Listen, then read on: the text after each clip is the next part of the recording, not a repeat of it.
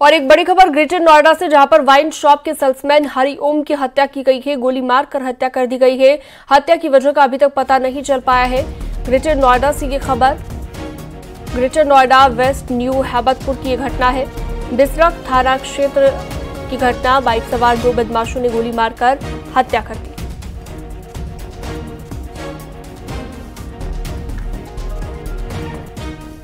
Himanshu phone line पर जुड़ गए ज़्यादा जानकारी के साथ हिमांशु कैसे ये हत्या हुई? क्या जानकारी खबर को लेकर? बिल्कुल, देखिए, आपको बता दें कि ये ग्रेटर नोएडा वेस्ट के न्यू हैबतपुर गाँव का मामला है और मौके पर पुलिस के आला अधिकारी मौजूद है। बताया जा रहा है कि सेल्समैन की हत्या कर दी गई है। इसके पीछे की वजह जो शुरुआती जाँच में स्पष्ट हुई है कि जौता शराब लेने को लेकर विवाद हुआ होगा और इसी बीच जो बदमाश है, उन्होंने सेल्समैन की गोली मारकर हत्या कर दी है। बताया जा रहा है कि दो लोग थे जो मौके पर पहुँचे थे और उसके बाद कहा सुनी हुई शराब लेने को लेकर और सेल्समैन ने शराब देने को मना कर दिया था। ये रात एक बजे के आसपास का प्रकरण बताया जा रहा है और इसी दौरान जो बदमाश थे उन्होंने गोली मारकर हत्या कर दी और मौके से फरार हो गए।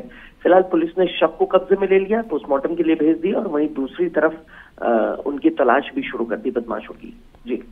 ठीक है। बहुत शुक्रिया तमाम जानकारी के लिए आपका Himanshu.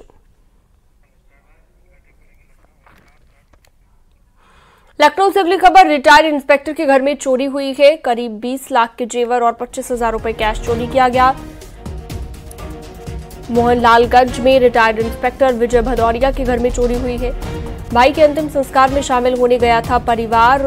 Forensic team, dog squad की मदद से अब चोरी का खुलासा करने में पुलिस जुटी हुई है।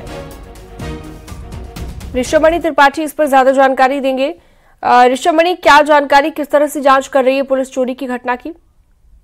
पूरा मामला राजधानी लखनऊ के मोहनलालगंज इलाके का है, जहाँ पर रिटायर्ड इंस्पेक्टर विजय कुमार भदौरिया रहते हैं अपने परिवार के साथ।